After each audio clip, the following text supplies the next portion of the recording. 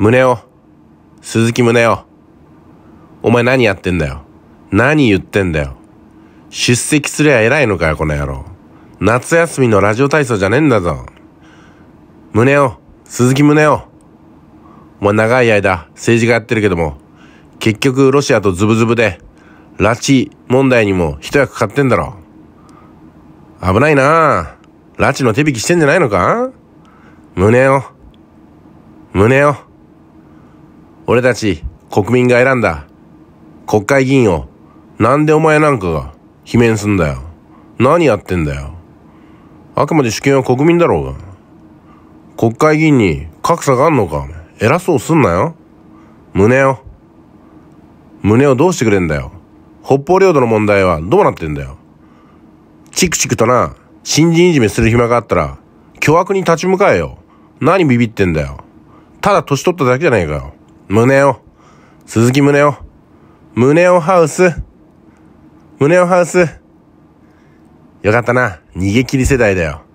胸を逃げ切り世代が、ガーシーや俺たちロスゼネ世代をまた食い物にする。いやー困ったもんだね。出る杭は叩く。まさにその通りだ。何？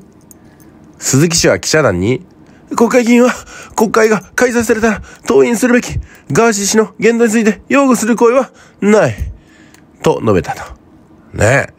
偉そうすんなよ、お前。お前が何言えるんだよ。あくまでも、国民が選んだ国会議員だろうが、お前だって選ばれたんだろうが、立場同じだろうが、何先輩風吹かしてんだよ。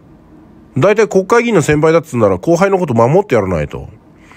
ガーシーのことは私が一切の責任を持ちますんで、皆さん、うん、冷たい目を向けないでくださいと。これからのガーシーを見守っていこうじゃありませんか。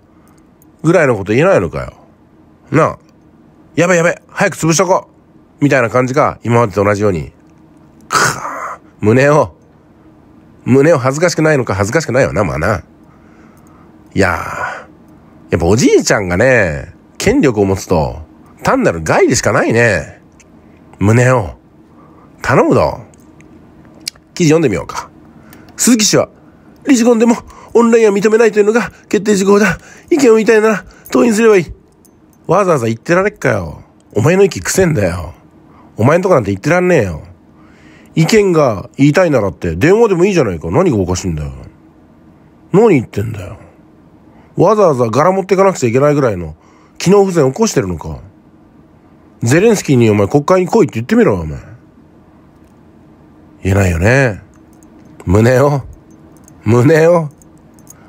もう、ちゃんちゃらちゃんちゃら喋るなよ。もう次の世代に常識は移り変わってるんだから。任せなさいって。ね。ゆっくり、麻生副総裁と一緒に、お茶でも飲んで時代劇でも見といてください。お疲れ様でした。